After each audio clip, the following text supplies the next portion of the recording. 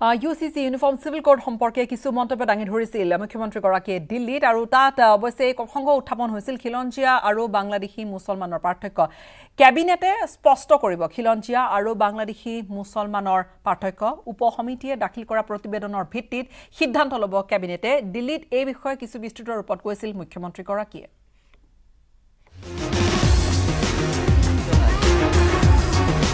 অসমত খিলঞ্জীয়া মুছলমানে বিচাৰিছে সুকীয়া পৰিচয় অসমত এই কথা সকলোৱে জানে যে ৰাজ্যখনত দুই ধৰণৰ মুছলমান লোক আছে একাংশ মুছলমান লোকৰ দুশৰ পৰা তিনিশ বছৰ ধৰি প্ৰৱজনৰ কোনো ইতিহাস নাই আনহাতে বিগত ষাঠি সত্তৰ বছৰ ধৰি অসমলৈ কোনসকল লোক প্ৰৱজিত হৈ আহিছে সেয়া সকলোৱে জানে असम में जो हमारा मुसलमान समाज है वो मुसलमान समाज का अंदर रिलीजन तो एक है, लेकिन जो कल्चर ओरिजिन इसमें दो भाग है। हमारा बहुत ही प्राचीन लोग है, जो हम जैसा इंडिजिनस है, वही लोग भी इंडिजिनस ही है। कोई माइग्रेशन का हिस्ट्री लास्ट 200 इयर्स में उनका नहीं है। तो वो वर्ग चाहते हैं कि हमको थोड़ा जो माइग्रेटेड मुस्लिम है उनका साथ एक ना किया जाए हमको एक अलग पहचान दिया जाए দিল্লীৰ সংবাদ মাধ্যমত এই মন্তব্য প্ৰকাশ কৰি মুখ্যমন্ত্ৰী ডক্টৰ হিমন্ত বিশ্ব শৰ্মাই স্পষ্ট ইংগিত দিছে যে খিলঞ্জীয়া মুছলমান আৰু বাংলাদেশী মূলৰ মুছলমানৰ মাজত পাৰ্থক্য আছে সেয়া অসমত খিলঞ্জীয়া মুছলমানে স্পষ্ট হোৱাটো বিচাৰিছে एक सब कमेटी बनाया गया सब कमेटी ने रिपोर्ट पेश किया और वो रिपोर्ट का ऊपर अभी कैबिनेट को आगे कार- कार्यवाही और कार्य जो काम है हमारा, वो करना है। अभी तक सरकार ने निर्णय नहीं लिया, लेकिन आगे जाके सरकार इस पर निर्णय लेगा कि कौन इंडिजिनस मुस्लिम है एंड कौन माइग्रेटेड है। और इसका ऊपर कोई असम में विरोध नहीं है इसलिए असम में सब जानते हैं कि पचास, सात, सत्तर साल में कौन आया।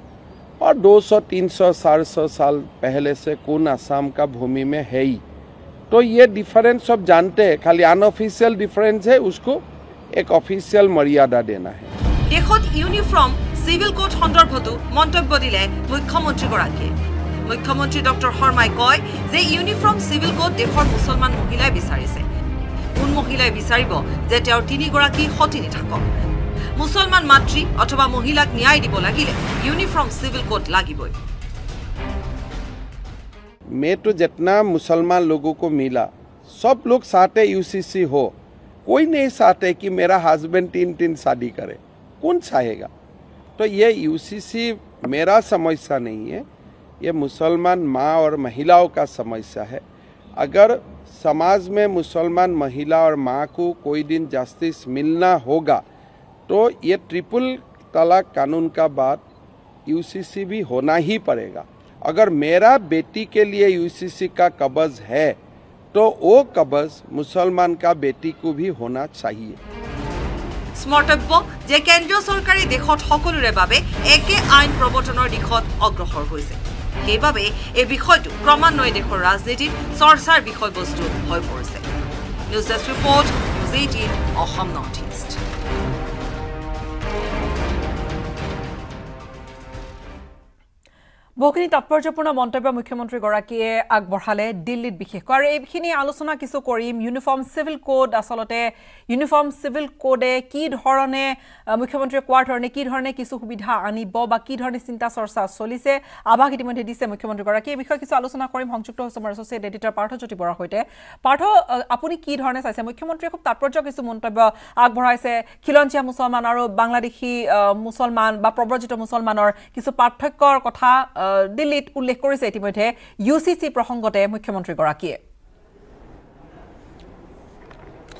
গীতাশ্ৰী ইউনিফৰ্ম চিভিল কোডৰ ভাৰতবৰ্ষত প্ৰ- প্ৰচলন কৰাৰ যি কথা সেই কথা বহুদিনৰ পৰা চলি আছিলে। মন কৰিব বিজেপিৰ যি নিৰ্বাচনী প্ৰতিশ্ৰুতি আছিলে সেই প্ৰতিশ্ৰুতিটো ভাৰতবৰ্ষত ইউনিফৰ্ম চিভিল কোড বা উমৈহতীয়া উমৈহতীয়া দেৱানী বিধি প্ৰচলন কৰাৰ তেওঁলোকে প্ৰতিশ্ৰুতি প্ৰদান কৰিছিলে।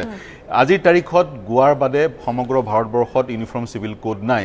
হিন্দুৰ কাৰণে পৃথক আইন অৰ্থাৎ হিন্দুৰ যি দেৱানী বিধিসমূহ সেইসমূহ হিন্দুৰ কাৰণে পৃথক বা খ্ৰীষ্টিয়ানসকলৰ কাৰণে পৃথক আৰু মুছলিমসকলৰ যিসমূহ দেৱানী বিধি তেওঁলোকৰ তেওঁলোকৰ যি বিবাহ বি- বিবাহ বিচ্ছেদ বা উত্তৰ উত্তৰাধিকাৰিত্ব বা তুলি লোৱা বা ভৰণ পোষণ ইত্যাদিবোৰ বা পৈতৃক সম্পত্তিৰ পাৰ্টিশ্যন ভাগ কৰাৰ যি প্ৰক্ৰিয়া সেই প্ৰক্ৰিয়া পৰিচালিত হয় তেওঁলোকৰ চাৰিয়ালৰ যোগেদি আৰু পৰিচালনা কৰে অল ইণ্ডিয়া মুছলিম পাৰ্চনেল ল' ল বৰ্ডে যাক আমি ব্যক্তিগত আইন বা পাৰ্চনেল ল' বুলি কওঁ।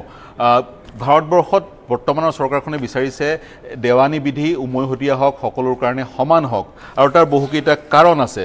যদিও ভাৰতীয় সংবিধানৰ দফা অনুচ্ছেদ চৌব্বিছৰ পৰা আঠাইছলৈকে ভাৰতীয় সংবিধানত নিজৰ ধৰ্ম নিজৰ ধৰ্ম পালন কৰা ৰাইট টু ৰিলিজনৰ যি এক অধিকাৰ প্ৰদান কৰিছে কিন্তু অনুচ্ছেদ চৌৰাল্লিছে কিন্তু U C C U C চিৰ কথা কৈছে উমৈহতীয়া দেৱানী বিধিৰ কথা কৈছে কিন্তু আম্বেদকাৰে তেতিয়া এটা কথা কৈছিলে সংবিধান প্ৰণেতা আম্বেদকাৰে কৈছিলে ঊনৈছশ সাতচল্লিছ চনত বা পঞ্চাছ চনত ভাৰতবৰ্ষ কিন্তু উমৈহতীয়া দেৱানী বিধিৰ কাৰণে প্ৰস্তুত নাছিলে কিন্তু আজিৰ তাৰিখত আজি চৰকাৰখনে ভাবে আজি আজিৰ দুহেজাৰ বাইছ চনত কিন্তু ভাৰতবৰ্ষ পৰিপক্কৈ এখন গণতন্ত্ৰ হৈছে আৰু ভাৰতবৰ্ষত উমৈহতীয়া দেৱানী বিধি প্ৰচলন কৰাটো সময়ৰ আহ্বান বুলি বৰ্তমানৰ চৰকাৰখনে ভাবে। গতিকে দুবাৰকৈ মন কৰিব দুবাৰকৈ ইউ চি চিৰ সম্বন্ধীয় যিখন বিধেয়ক বিধেয়ক উত্থাপন কৰা হৈছিলে সংসদৰ মজিয়াত কিন্তু দুইবাৰেই বিধেয়কখন আঁতৰাই লোৱা হৈছিলে ঘূৰাই লোৱা হৈছিলে। কিন্তু এইবাৰ যি ধৰণে এক পৰিৱেশৰ সূচনা কৰা হৈছে সম্ভৱতঃ আগন্তুক যি সংসদৰ অধিৱেশন সেই অধিৱেশনত ইউ চি চি সম্বন্ধীয় বিলখন অনাৰ সম্পূৰ্ণ পূৰ্ণ সম্ভাৱনা আছে। এতিয়া ইউ চি চি কি? ইউ চি চি হৈছে এনেধৰণৰ এখন আইন উমৈহতীয়া দেৱানী বিধি বা চিভিল আইন।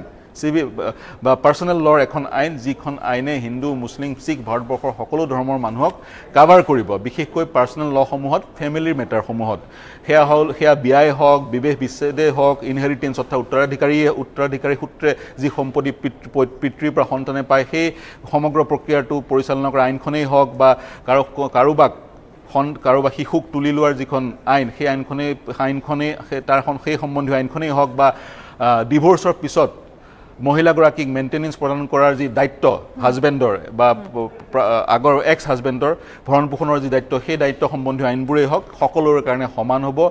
বা হিন্দুসকলৰ কাৰণে কিছুমান এক্ট আছে ধৰি লওক Hindu succession act Hindu marriage act ইত্যাদি ইত্যাদি আৰু সময়ে সময়ে সেইবোৰ সংশোধিত হৈছে। কিন্তু মুছলমানৰ কাৰণে মুছলমানসকলৰ কাৰণে কোনো কডিফাইড ল নাই। তেওঁলোকৰ এইসমূহ আইন চিভিল আইনসমূহ চিভিল পৰিচালিত কৰে অল ইণ্ডিয়া মুছলিম পাৰ্চনেল ল বৰ্ডে তাত বহুত আসুৱাহ থাকে বুলি বহু সময়ত বহুতে কয়। উদাহৰণস্বৰূপে এজন মুছলিম পুৰুষে চাৰিগৰাকী বিয়া পাতিব পাৰে। পলিগেমি তেওঁলোকৰ মাজত বহুবিবাহ তেওঁলোকৰ মাজত অনু কৰিব পৰা যায়।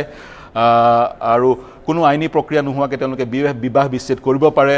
বিচ্ছেদিত পত্নীক ভৰণ পোষণ তেওঁলোকে মাত্ৰ নব্বৈ দিনৰ কাৰণে দিলেই হয়। নব্বৈ দিনৰ পিছত ভৰণ পোষণ দিয়াৰ বা এলিমনি দিয়াৰ বা মেইনটেনেঞ্চ দিয়াৰ কোনো প্ৰথা বা আইনগতভাৱে নিদিলেও নিদিল নিদিলেও চলে। এনেধৰণৰ কিছুমান আঁসোৱাহ আছে যাৰ পৰিপ্ৰেক্ষিতত এই আইনখন universal civil universal civil U C C Bharat চৰকাৰে অনাৰ পোষকতা কৰিছে। মন কৰিব ত্ৰিপুল তালাক। ত্ৰিপুল তালাক কিন্তু বেআইনী ঘোষণা কৰিলে এখন আইন যোগেদি ভাৰতীয় ভাৰত চৰকাৰে আৰু সংবিধানেও ত্ৰিপুল তালাক আনকনষ্টিটিউচন বুলি কৈছে। কিন্তু আইনখন যিধৰণে প্ৰণয়ন হ'ব লাগিছিল ত্ৰিপুল তালাক নিষিদ্ধ কৰা আইনখন যিধৰণে প্ৰণয়ন হ'ব লাগিছিল সেই ধৰণে প্ৰণয়ন হোৱা নাই।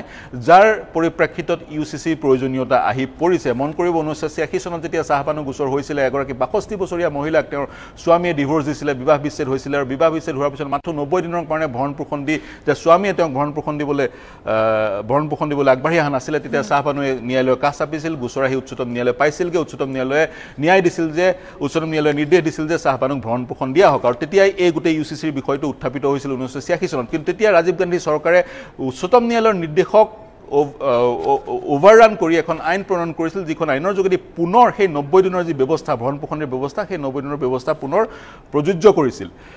কিন্তু সেই ছুপ্ৰিম কোৰ্টে সেই নতুন আইনখনকো ইলিগেল বা আনকনষ্টিটিউচনেল হিচাপে গণ্য কৰিছিল। গতিকে তেনেধৰণৰ কথাবোৰৰ পৰা ইউ চি চিৰ গোটেই ধাৰণাটো আহিছিলে।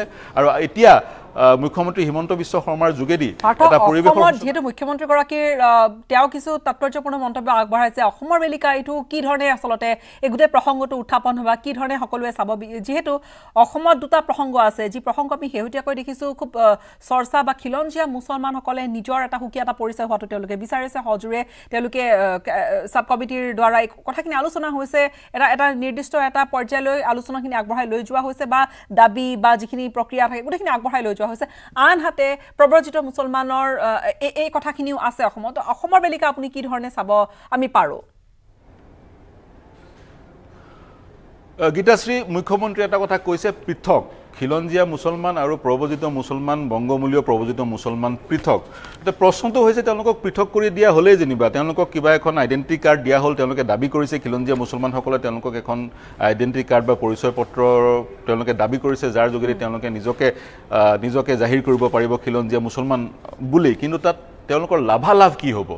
তেওঁলোকে কি বিশেষ এক অধিকাৰ পাব এই পৃথকীকৰণৰ যোগেদি? সেইটো ডাঙৰ প্ৰশ্ন। তেওঁলোকক এক মৰ্যাদা দিয়া হ'ব ঠিকেই কিন্তু তেওঁলোকো বংগমূলীয় মুছলমানসকলো ভাৰতীয় নাগৰিক হৈ থাকিব খিলঞ্জীয়া মুছলমানসকলো ভাৰতীয় নাগৰিক হৈ থাকিব।